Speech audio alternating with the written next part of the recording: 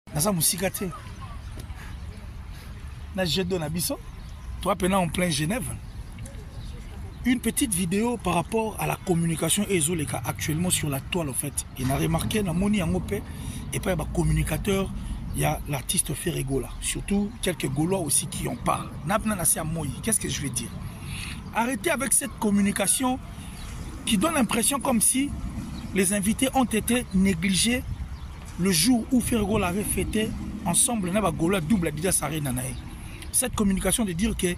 eh ben invité kutu bakoki oyemba te Ferre ayembi koleka bango non non non non. Ça ce n'est pas une bonne communication. Cette communication elle est très très très mauvaise parce que eko empêcher en fait prochainement soki Ferre aza na posa ba invité ba oka koya parce que bana wana toyebi bango baka ba capuci baka na makambo na bango et puis baza na makambo na bango.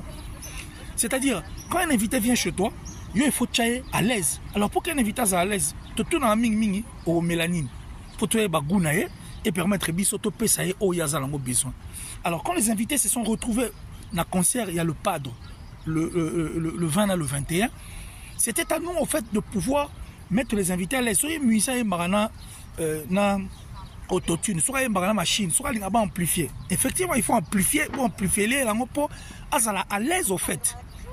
alors quand vous dites de choses comme si alors quand vous dites de choses comme si ezalaki nko c'est-à-dire bayaki pour que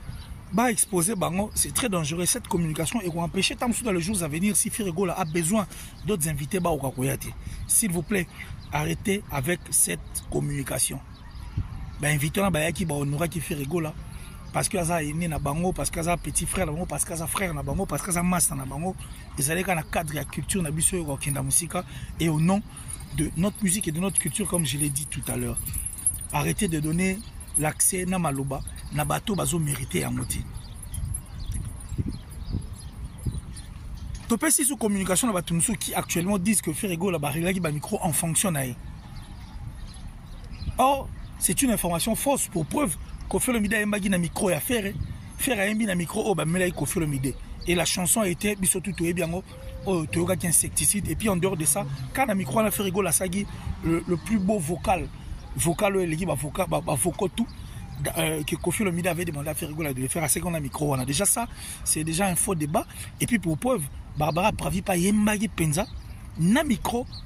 na concert wana et tomonaki bitumba bavua ndenge esalemaki donc déjà de ce côté là c'est vraiment un faux débat mais à force ntango mosusu ya kocontinue koloba makambo etali euh, les invités ke bayaki eh, babimaki mabata parce que frère ayembaki koleka bango yango nde ezopesa accès na bato oyo basalaka mabe bacoopérant baperroquet bamalingre batrapu wana bakoka kodeforme information quand il déforme l'information ils, ils, comment dirais ils sont en train de suyer au fait et de salir l'image de Gaulle. et cette image nous avons souffert au fait pour que Toko Matina à niveau auto redorer image wana s'il vous plaît arrêtez d'entrer dans le jeu wana eh, continuez toujours à soutenir votre artiste c'est 15 juin 2024 Nagata Genève genève arena c'est-à-dire concert inoubliable ferrego là va chanter l'ange chantera pour...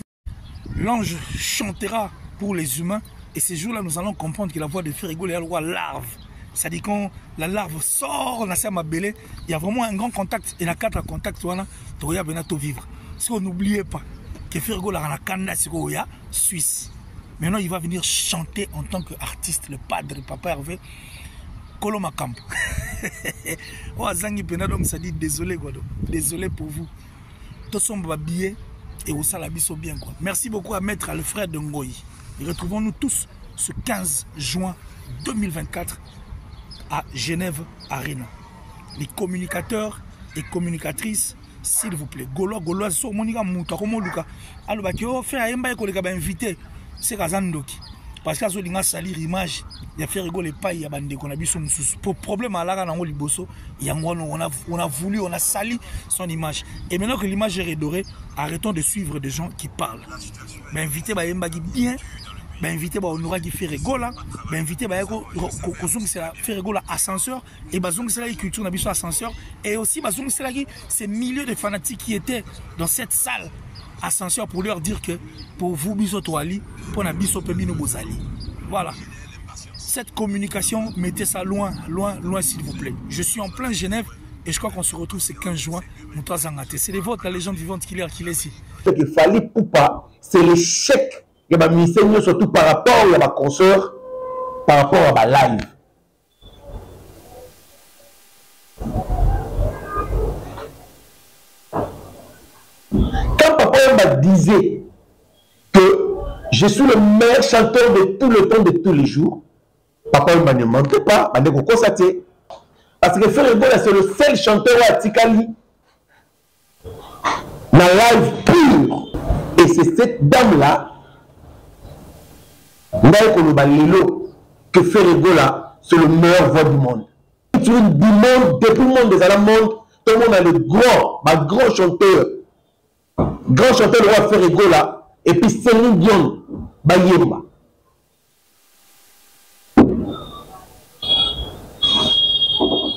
Barabara Brazil a dit Reza Ferre Gola depuis Ayoka regarde-moi. alobi lelo na france soki oke na france bazobenga su ferre gola chanteur africain te bazobenga ye meilleur chanteur du monde pour comprendre des spectacles c'est quoi d'abord le spectacle peut-être eza mélange ya nyonso oyo ezoleka na, uh, na moment ya concert donc même ntango azobimisa musicien eza spectacle spectacle eza danse te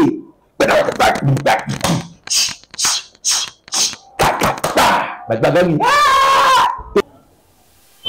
soki tobi tokende par rapport ya spectacle tokoloba spectacle ya fali pupa na new arene ezalaki incomplet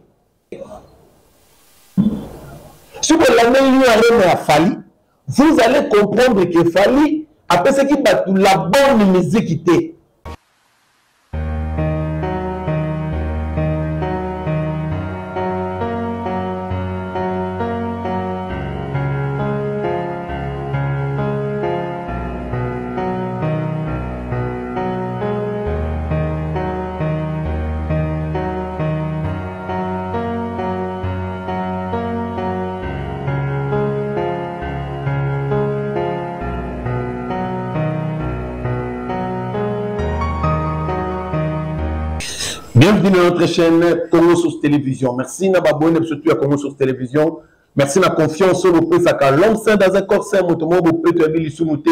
maboko pembe merci na deuxième gires depuis les états-unis merci na baetou derrière la caméra là je vois directement eve bositapen balobi image sans microbe voilà nalinga nde babengelaki bongo image sans microbe eve bositapen etolomopesa centimètre mobali papa na erlie voilà yango wana e merci na balobi zenga mambu mambu zenga depuis euh, australie euh, zenga mambu bapele na yo esalaka nga bien makasi zenga mambu depuis australie euh, et puis là je vois directement balobi merci na pire vie ya petit na ye asani vunguvungu ya basani vungule depuis chicago fabrice lombolo Eh, si nabonga kote na ngai na motema mabe likasi todi yo lokasi man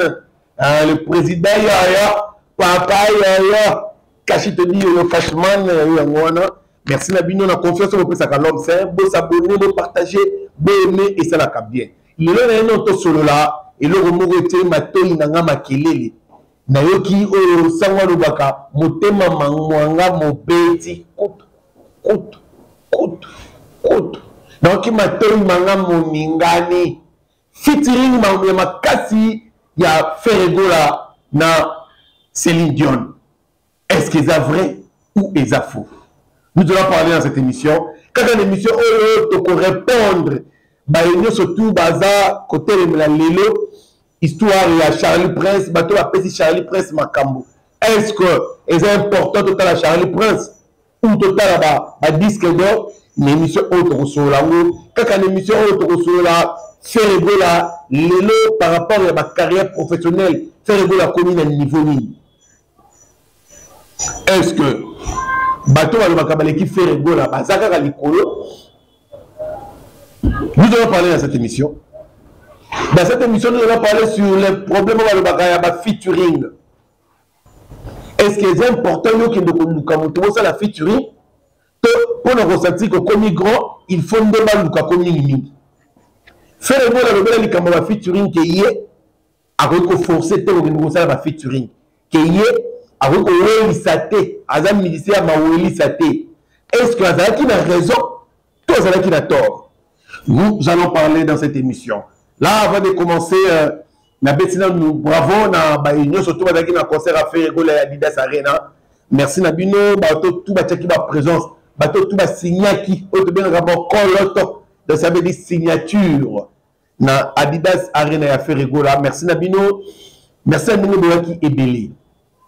avant nakota na profondeur ya analyse ya lelo je voulais vous parler quelque chose oyo ezopesa bato mitu mpasi la différence qui est entre concert ya ferre gola ya adidas arena na concert ya fali the warrior disent que ferre gola asalaki entrée ya mawa ce sont des warriors et les warriors disent que concert ya fali ezalaki na spectacle que concert ya ferre d'abord quand on parle de spectacle c'est quoi d'abord le spectacle spectacle eza mélange ya nyonso ezoleka na, euh, na moment ya concert donc meme ntango azobimisa musicien eza spectacle spectacle eza danse te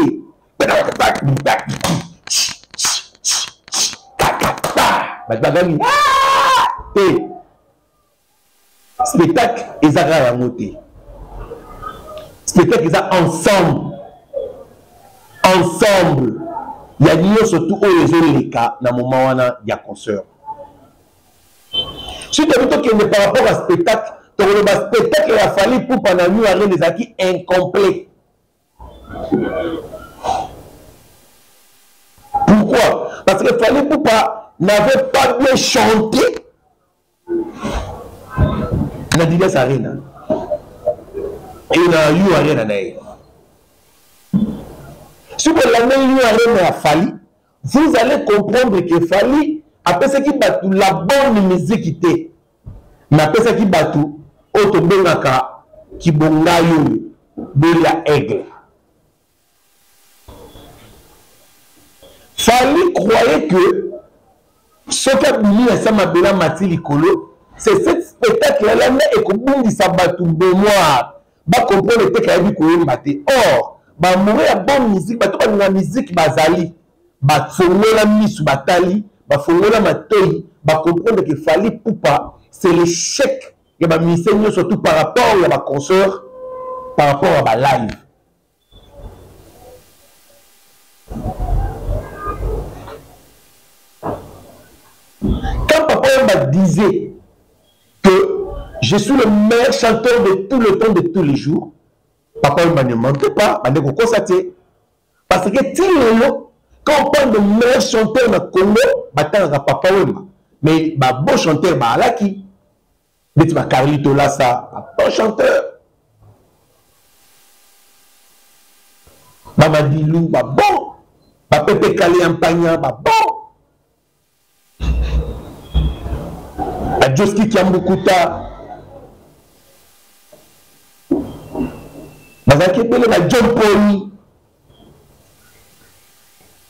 bazalaki ebele baposoteur mais papa wamba il était tobenge numero 1 ya babosateur wana nyonso tu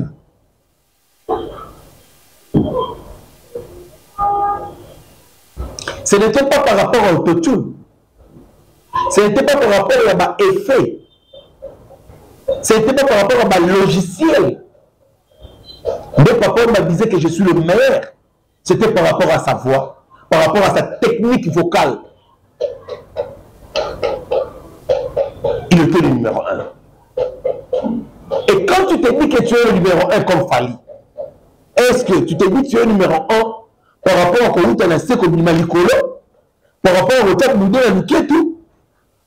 par rapport à quoi koloba bopondela nga soki baponi nga te mais donc c'est par rapport à quoi c'est par rapport à quoi aujourd'hui ferre gola peut dire je suis numéro 1 ya musique ya congo pourquoi parce que ferre gola c'est le seul chanteur oyo atikali na live pure na musique ya congo tele boya c'est le seul chanteur oyo atikali na technique vocal oyo mpo moto oyo akoleke il faut 20 ans plus tard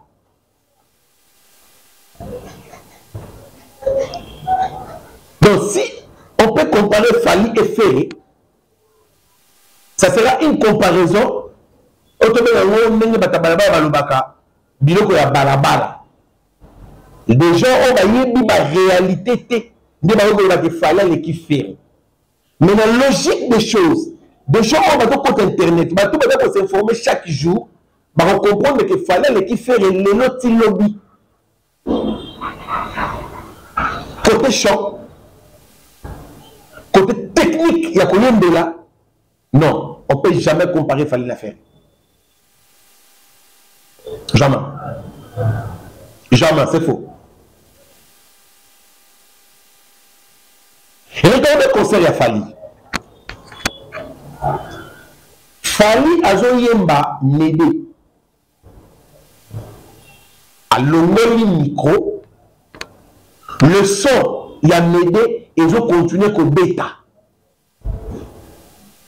C'était par rapport à quoi C'est pour vous dire que fallait faire la musique ya ndoto. bozoka ngo elengi mpo bwana pongi mokoto olanza bokokompreke miziki afalelaka ya ndoto eza nango réalité te j'espère vous comprendre nga de fali nous donne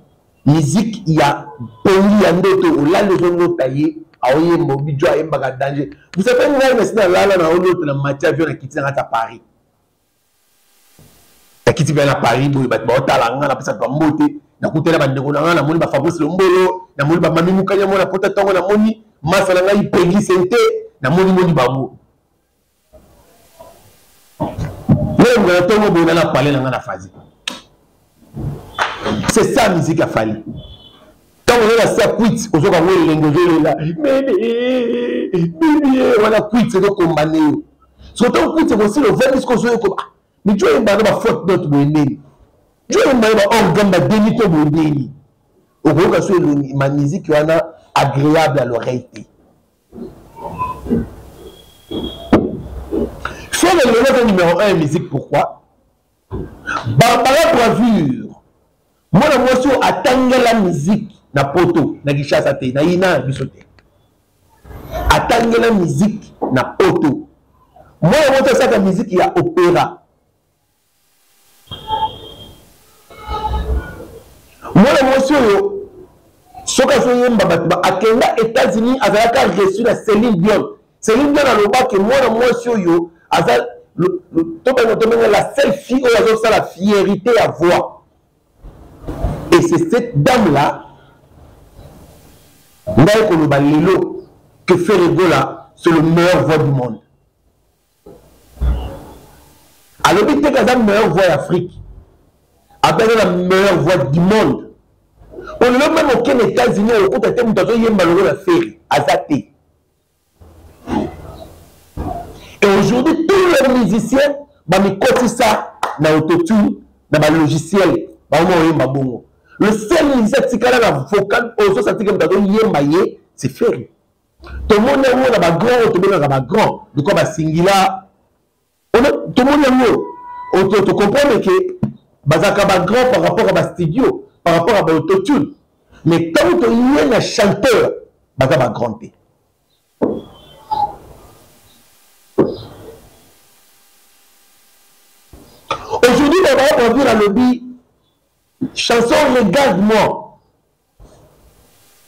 Ferre Gola na deuxième personne oyo ayembi style wana correctement na monde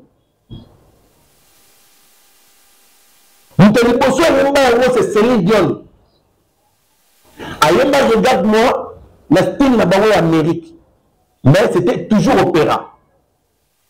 e batya yango na basérie télévisé eleka tomonamona basérie télévisé ebele nzembo ya Celine Dion ekota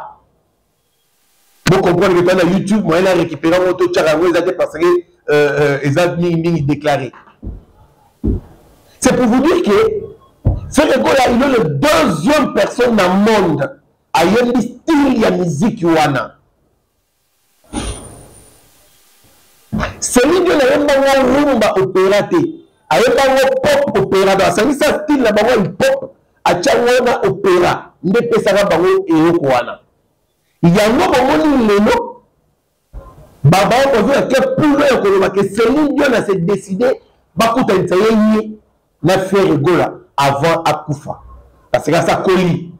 alobi deuxième nzembo eza koyemba il faut babandela regarde moi basala featuring fere ye na barbara braville c'est l'information oyo bientôt ezozala diffusé partout bientôt bokomona artiste fere bola kotya yango na bapage na ye pour vous dire que featuring ya makasi meilleur featuring du monde depuis monde ezala monde tomona le grand bagrand chanteur grand chanteur lokola fere gola epuis celine dion bayemba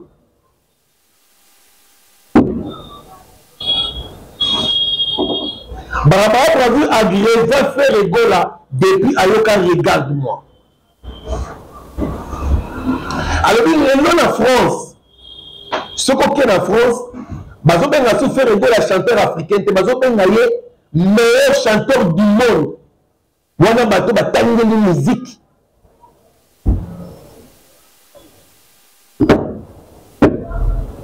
soki lelo bato oyo bayebi makambo ya miziki balobi ferre c'est le meilleur chanteur du monde pour le moment sikoyo bino na afrique na congo toza mitema mabe ya bacongolais toza nao na niveau ya kovanda mpo toluka tokompare ferre na fali il faut tozala maboma fere oyo bagrand chanteuse ya mondo ka baselin dion babangi baluki baluka bakota po bakutana na fere gola baluka bayemba regarde mwana fere gola babandela nzembo wana parce que na banzembo oyo ezotikala eh, eh, eternellement na mondo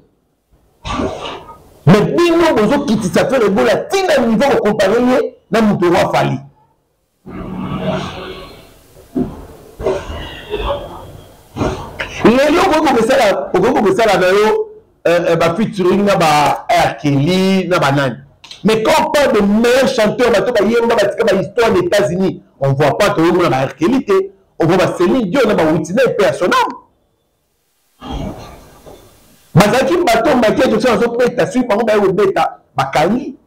celine dion asala 5 ans abetaka chaque dimanche na bastade asalaka baplein et le jour atika baaméricain balela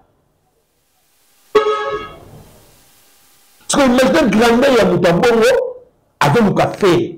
est ce que soki totie bango na balance fo tokitisa fere mpo celine ezala likolo non ntango bia moto aye koluka motu ça veut dire amoni grandeur amoni capacité ya moto wana yango bomoni lelo barbara braville apréféré na ye akangama fere na nzoto mpo ye nde avandaka na bato wana ayebi grandeur ya fere ayebi koma bato wana babangi fere epuis bama ye kokola lobi concert awuti kobeta na fere epesi ye baproduction mosusu akanaka te na vina kozwa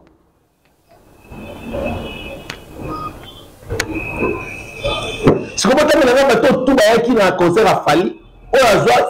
azwa azwa azwa contrat ya makasi apres concert ya fali nani aza te aza te donc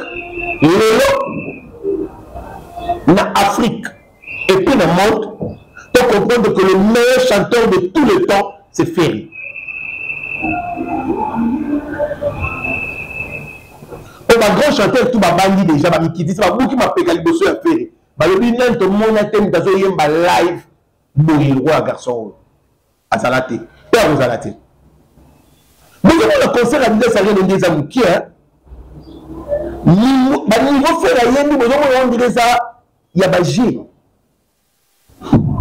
bobima libanda ya mboka botuna bato ya libanda ya mboka bayebisa bino nini oyo fere gola aloni na matoi ya mindele lelo soki oke na france l'artiste le plus reconnu na france lelo na fere Parce que Adidas ya Rema esali que Ferre pour le français ayeba Ferre Gola.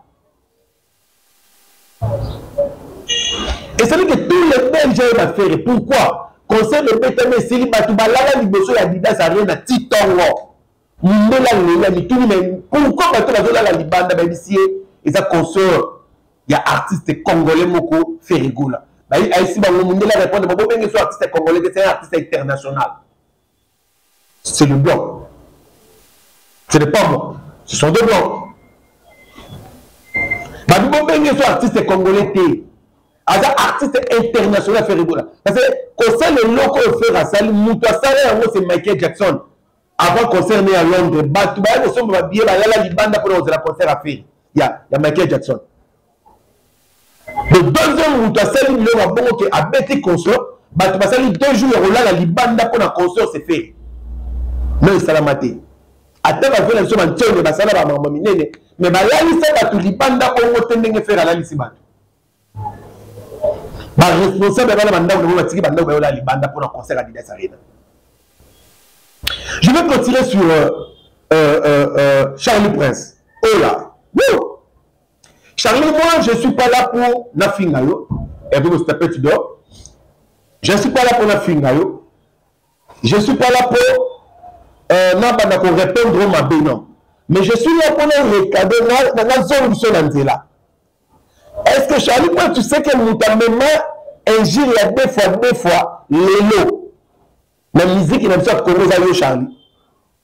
moto ya liboso abanda kofinga fali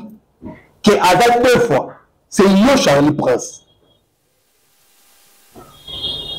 charlie prince yo le premier personne abanda kolakisa biso lokuta ya fali toyebaka yango te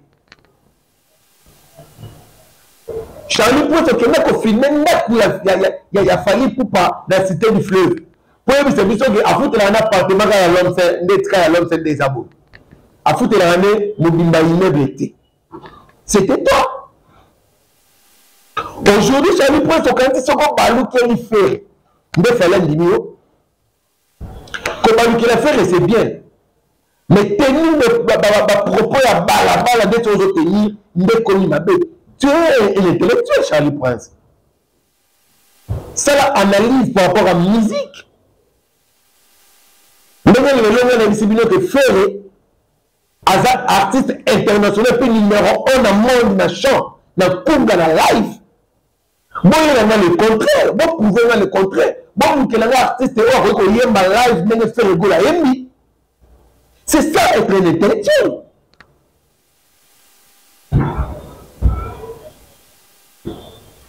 Charlie Prince orata ebele pembeni ya Ferre yango nazosenga na bagaulois bagauloise bagladiateur bamoureux ya bonne musique bolanda lisusu ye te eza vertige acomprendre ke j'avais na perdre eloko ya chere eloko ya botuya Ata Charlie Prince te kokabola na Ferre ayebaki te ke un jour Ferre lokola lelo akosala ba featuring na makasi na ba Celine Dion lelo akosala ba featuring na ba Barbara Bravure ayebaki te ke Ferre lokola lelo akozala numero 1 ya live na monde mpo na ya bulaka Ferre lokola kosuka te kaka awa et ntango afandi akoti parce que asai recherche ndenge mama moko naloba na bino botuna charli mpo ayebi yango parce que soki okoti oke na bapage ya baseli nde tu vas trouver ça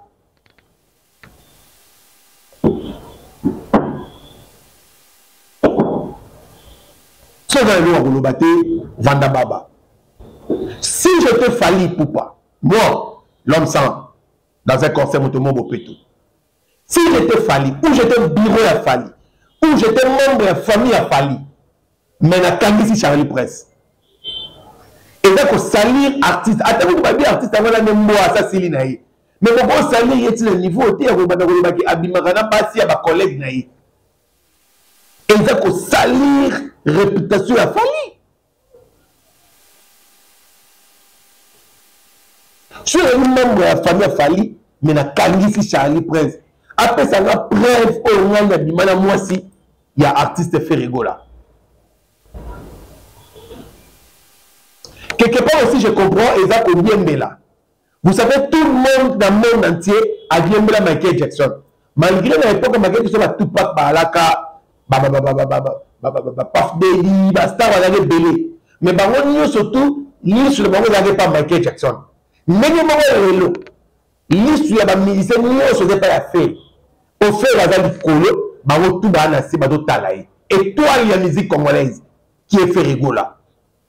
Etoile ya musique na biso ya Afrique qui est Ferre Gola. Et aujourd'hui, ba star à monde ba confirmer que Ferre Gola c'est le star du monde. Oyo oh, tous les musiciens les autres talent. Lelo ba musiciens meke bazali na besoin bazwa cours ya koyema live epai ya Ferre. lelo ba musicien français baya koza ba bacours ya koyemba live tala eloko esilisi fali carrière tala eloko mindele baye kocomprendre ke fali pupa c'est un menteur fali pupa c'est quelqu'un oyo amemeli biso mensonge oyo avandiseli biso